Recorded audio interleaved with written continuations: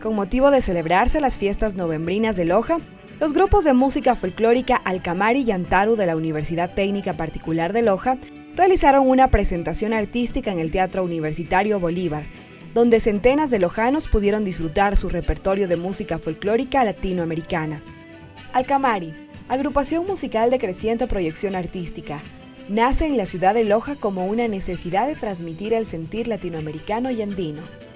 Su estilo muestra claramente el espíritu y la fuerza de la música de América del Sur, teniendo sus inicios en la Escuela de Arte Sin Fin, dirigida actualmente por el maestro Cristian Loachamín. Deleitaron al público con ocho temas, cerrando su presentación con un popurrí de San Juanes ecuatoriano. La agrupación nació hace exactamente dos, tres, casi tres años ya. El grupo nació de la Escuela de Arte Sin Fin, donde soy profesor docente en, esa, en ese proyecto en el cual es, es un proyecto perteneciente a la UTPL, mediante la Fundación FEDES, que, que, maneja este proyecto que se llama Sin Fin, que es una orquesta filarmónica infanto-juvenil, y tenemos el área de lo que es instrumentos sinfónicos, instrumentos andinos y el área coral.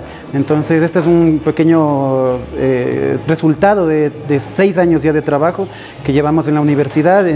Antaro es una agrupación musical de la UTPL conformada por estudiantes, quienes han unido sus talentos y su amor por la música para ofrecer al público una propuesta diferente, rescatando lo mejor del folclore andino y fusionándolo con sonidos e instrumentos. El maestro William Cueva valora el esfuerzo realizado por los estudiantes al compartir su tiempo entre las actividades académicas y los ensayos de la agrupación. Es una cuestión bastante difícil y yo valoro mucho el esfuerzo que hacen los estudiantes. O sea, en realidad eh, en el grupo yo tengo estudiantes de medicina, de arquitectura, carreras que en realidad les toma muchísimo tiempo.